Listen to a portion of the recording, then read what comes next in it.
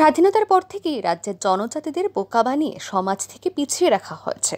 কখনো greater Tipra land, আবার কখনো স্বাধীন ত্রিপুরার আলাদা তিপ্রা ল্যান্ড নামে জনজাতিদের বোকা বানিয়ে দীর্ঘকাল ধরে রাজনীতি হয়েছে ত্রিপুরায়।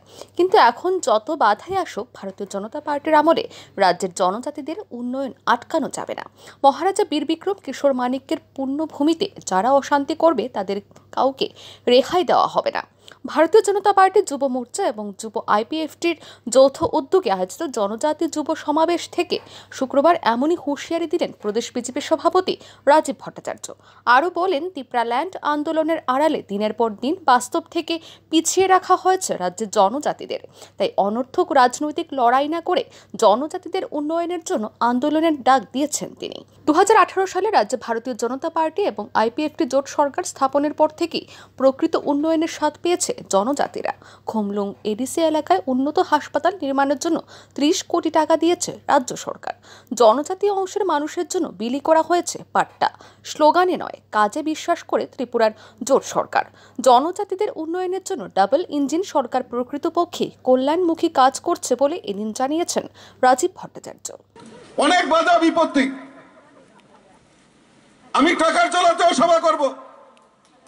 যত বাধাই আসুক না কেন अरे मारना है तो हमको मारो इन लोगों का कसूर क्या है ये भी जो चले जाती है आप लोग भी चले जाती हो तो आप लोग क्यों आपस में झिलते हो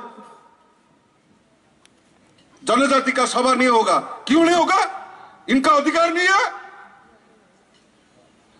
আজ রাজা আমরা যখন আসছি সবাই মিলে আমরা এখানে মহারাজা বীর বিক্রম কিশোর মানিকের এখানে প্রতিকৃতি স্থাপন করা হয়েছে আমরা এখানে ফুল দিয়েছি আমরা এই পবিত্র স্থানে আমরা মহারাজাকে আমরা শ্রদ্ধা নিবেদন করছি। আর এই মহারাজার পূর্ণ ভূমিতে আমাদেরকে সভা করতে দেবে না। এও আমরা ত্রিপুরাবাসী হিসাবে মেনে নেব। যত বাধাই আসুক, এই মহারাজার ভূমিকে যারা এই অশান্তি করবে, তাদেরকে রেহাই করে ভারতীয় জনতা পার্টি আইপিএফটি কোন সময় ক্ষমা করবে না। সবাই একত্রিত হন।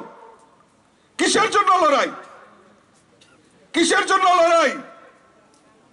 ত্রিপুরাতে স্বাধীনতার পর থেকে আমরা দেখে আসছি, বারবার এই ত্রিপুরা রাজ্যের জনজাতিদের বুকা বানিয়ে এই জনজাতিদের যত পিছিয়ে রাখা যায়, তার প্রয়াস হয়েছে। আজকে আন্দোলন হোক, ত্রিপুরা রাজ্যের জনজাতিদের জন্য, ডেভেলপমেন্টের জন্য উন্নয়নের জন্য আন্দোলন হোক, সেই কথা তো কেউ বলে না। খালি লড়াই করতে হবে, লড়াই করতে হবে। কিসের লড়াই? যদি লড়াই করতে হয়, আন্দোলন করতে হবে, জনজাতির অধিকারের জন্য আন্দোলন করতে হবে, জনজাতির অধিকারের জন্য আন্দোলন করতে হবে। খালি গ্রেটার ত্রিপুরালেন আলাদা ত্রিপুরালেন স্বাধীন ত্রিপুরা। আমরা বহু বছর দেখেছি এই স্বাধীনতার পর থেকে। জিষ্ণুদা আমাদের এখানে সিনিয়র কার্যকর্তা বসে রয়েছে বহুবার এই ত্রিপুরা রাজ্যে আন্দোলনের নামে আন্দোলনের নামে এই জনজাতিদেরকে কীভাবে পিছিয়ে রাখা যায় তার প্রয়াস হয়েছে। ভারতীয় জনতা পার্টি সরকার দুই হাজার আঠারোতে, ভারতীয় জনতা পার্টি আইপিএফটি নেতৃত্বে সরকার এই ত্রিপুরা রাজ্যে প্রতিষ্ঠার পর যে বনের অধিকার রয়েছে, আজকে এক লক্ষ উনত্রিশ হাজার জনজাতি অংশের ভাই বোনদের নামে পাট্টা বিলির কাজ যদি করে থাকে, তাহলে ভারতীয় জনতা পার্টি আইপিএফটি সরকার করেছে। ত্রিপুরার অগ্রগতি চাইলে প্রকৃত উন্নয়ন করতে হবে রাজ্যের জনজাতিদের। তাই কথাই নয়, কাজ দিয়ে তা প্রমাণ করে দিচ্ছে রাজ্যের ভারতীয় জনতা পার্টি এবং আইপিএফটি এর জোট সরকার। ব্যুরো রিপোর্ট আর ই নিউজ।